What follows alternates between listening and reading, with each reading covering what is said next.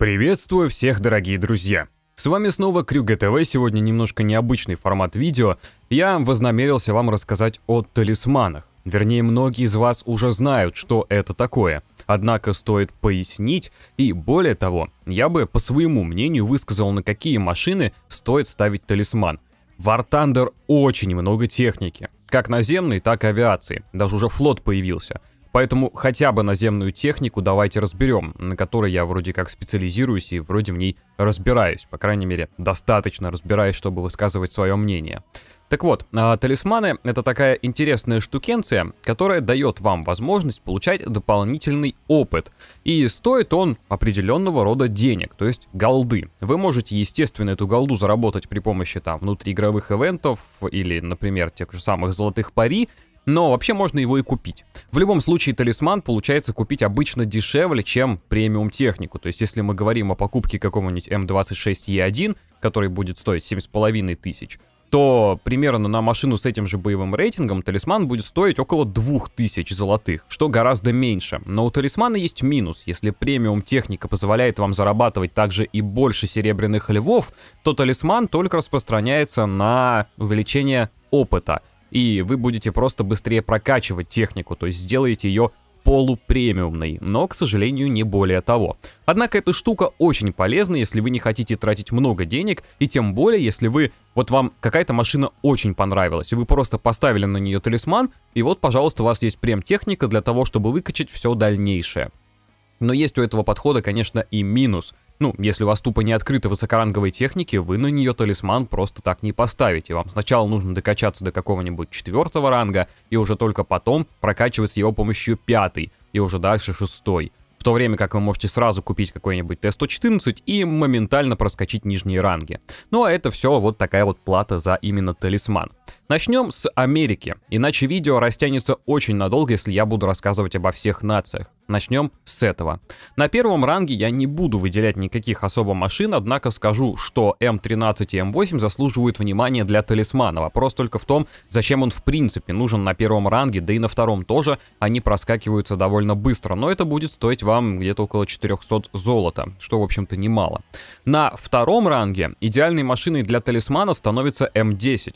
Эта машина обладает великолепным орудием, и хоть у нее есть проблемы с медленной башней, но она шикарна. И у нее нет проблем с выбором снарядов, например, как у Шерманов, и она где-то даже оттанковывает, особенно из-за своей, может быть, багнутой маски. Пробить ее туда практически нереально. Можете чисто по приколу поставить э, талисман на М5 или М22 и бегать воевать на шестой ранг потом, но смысла в этом никакого. Если вы будете ходить воевать на шестом ранге, значит он у вас уже есть. Так что, ну, нет в этом никакого смысла. А вот начиная с третьего ранга, уже можно задуматься о серьезном приобретении каких-либо талисманов. Например, мне на аккаунте, который принадлежит э, прохождению игры с нуля, серии стримов с самого нуля, мы выбили талисман на М6А1, и поверьте, это сильно ускорило нашу прокачку. Здесь третий ранг уже начинает как-то, ну, довольно много времени требовать. Если вы не покупаете какую-то машину, то можете повесить талисман. Собственно, у американцев довольно много вариантов, куда можно повесить талисман. Но лично мой выбор это, конечно же, либо М4А1, либо М6А1, либо М18. Почему не Джамбо? Потому что орудие слабое. И, конечно, на нем можно воевать, и любители будут. Но, опять же, вы знаете, что я к этому танку отношусь крайне сомнительно. Я, конечно, признаю, признаю его имбовость, но он мне не нравится.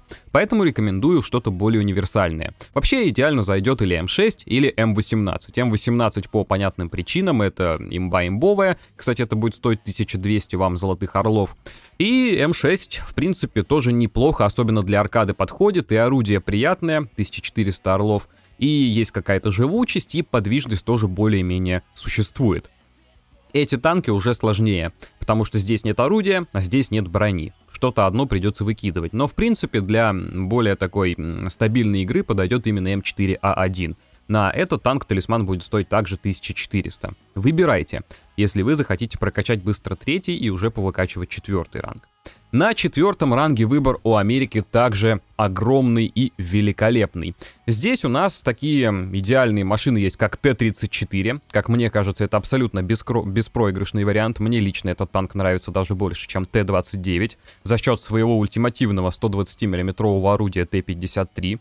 Также для любителей веселого геймплея это какой-нибудь М56 Скорпион. Кстати, сколько на него будет стоить? 2000 талисман, как и на Т-34. И здесь уже есть, ну, существенная разница с премами четвертого, например, ранга. Если ранее цена была не настолько разнящейся, то здесь уже солидное преимущество у вас по деньгам выходит. В общем, М56 и Т-34 хорошие, точнее, это лучшие варианты для талисмана.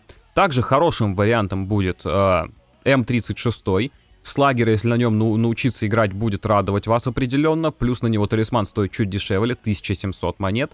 Неплохим выбором может стать Т-92, но это вопрос, конечно же. Или Супер Джамбо, но лично мне эти машины, опять же, ну не, не вызывают настолько много доверия, как 34 или М56. Также, если кто-то любит Супер Персик, то как вариант, теперь у него ниже боевой рейтинг, возможно, ему живется проще. Но талисман стоит столько же, как и на Т-34, и, ну, нафиг оно надо. Но не стоит забывать, что для того, чтобы докачаться до Т-34, вам придется половину этой ветки пооткрывать. Поэтому изначальных машин, которые вам даны здесь на выбор, скорее всего, это либо М36, либо Супер Джамбо. И пока вариантов больше нет. А уже дальше это 34, например, или М56. Что ж, переходим на пятый ранг. Здесь выбор на самом деле тоже довольно велик, но реально его можно свести к двум машинам. Это либо М103, это М47. Вот и все.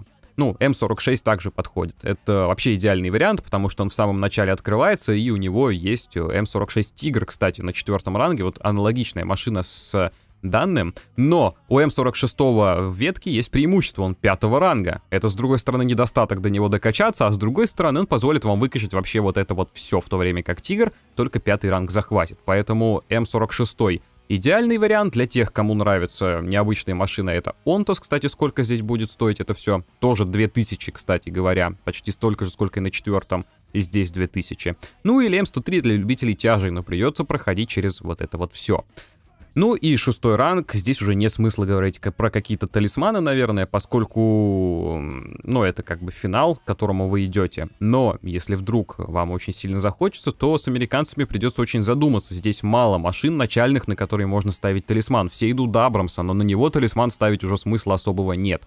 Но а так, к сожалению, я ничто не могу сказать про Т-95, я еще на нем не играл. М60 это явно не те машины, как и Шеридан, на которые стоит это делать. Вулкан тоже. М62 тоже у меня его нет и сказать нечего. Ну а МБТ, он, конечно, неплох, но не идеален, да и него надо докачаться еще будет. Поэтому шестой ранг у Америки получается довольно пустой. Ну что ж, вы услышали мое мнение. Пишите свои комментарии по поводу талисманов. Вообще самое выгодное вложение это премиум аккаунт и талисманы. За счет них вы сможете прокачиваться, вкладывая минимальное количество денег в игру. Пишите, на что вы бы поставили талисман в американской ветке и как с какой бы тактикой вы это делали. Ну, а на этом я с вами попрощаюсь. Всем спасибо за просмотр, пойду пилить для вас видосы и всем пока-пока.